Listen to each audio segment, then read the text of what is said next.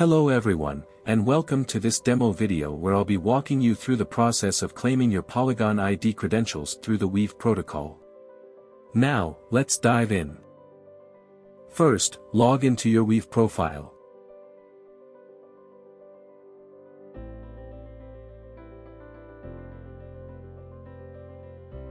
In the middle of your WiW profile, you will see our banner for the Polygon ID VC claiming.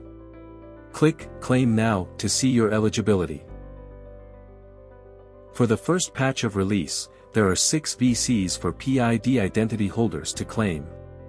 These VCs are generated through WiW's customized rules, each with detailed specifications, and are updated on a daily basis.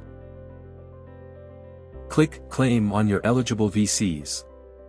And select the eligible ETH address. Now, turn to your Polygon ID compatible apps on your iOS or Android device. Connect by scanning the QR code to link your Polygon ID's mobile app.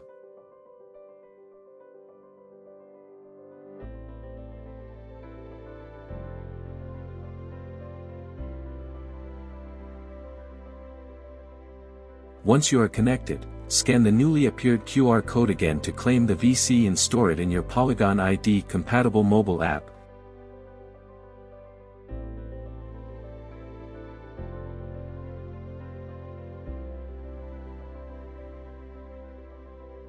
congratulations. Now you should see the claimed VCs on your mobile device, and the claim is done. WiW Protocol is a privacy-preserving identity protocol that focuses on user reputation by incorporating both off-chain and on-chain data.